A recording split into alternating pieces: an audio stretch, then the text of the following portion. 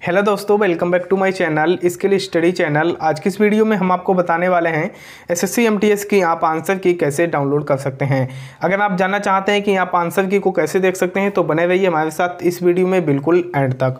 उससे पहले दोस्तों चैनल पर नए हैं तो चैनल को सब्सक्राइब करके बेलाइकन को प्रेस कर लीजिए, ताकि मैं जो भी नेक्स्ट वीडियो लेके आऊँ, उसका नोटिफिकेशन सबसे पहले आपको मिले। तो दोस्तों, बात करते हैं कि आंसर की आप कैसे देख सकते हैं।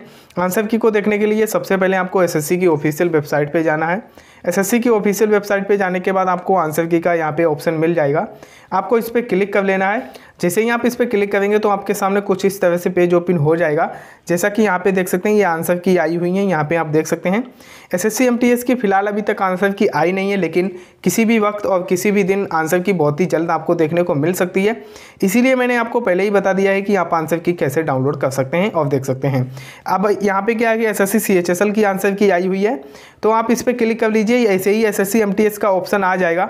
जैसे ही यहाँ पे लिंक एक्टिवेट होगा, यहाँ पे दिखाई देने लगेगा। लिंक एक्टिवेट होते ही आपको उस पर क्लिक करना है। जैसे ही आप उस पर क्लिक करेंगे तो डाउनलोड के ऑप्शन पे क्लिक कर लेना है। यहाँ पे दोस्तों क्या है कि आपके सामने एक पेज ओपन हो जाएगा।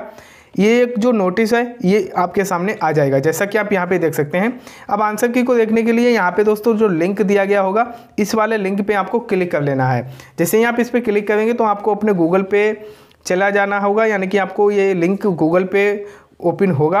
यहाँ पे गूगल पे ये लिंक जब ओपन होगा तो यहाँ पे आपको रोल नंबर और पासवर्ड और लॉगिन कर लेना है। जैसे ही आप लॉगिन करेंगे तो आपकी आंसर की आपके सामने आ जाएगी और आप उसको डाउनलोड भी कर सकते हैं। आप देख सकते हैं कि आपके कितने क्वेश्चन सही है, कितने क्वेश्चन गलत हैं। तो दोस्तों, कुछ इस तरह से आप अपनी एस एस की आंसर की को डाउनलोड कर सकते हैं। बाकी अगर आपका कोई भी क्वेश्चन है तो आप मुझे कमेंट बॉक्स में कमेंट करके पूछ सकते हैं। मैं आपके क्वेश्चन का जवाब अवश्य दूँगा। Thank you.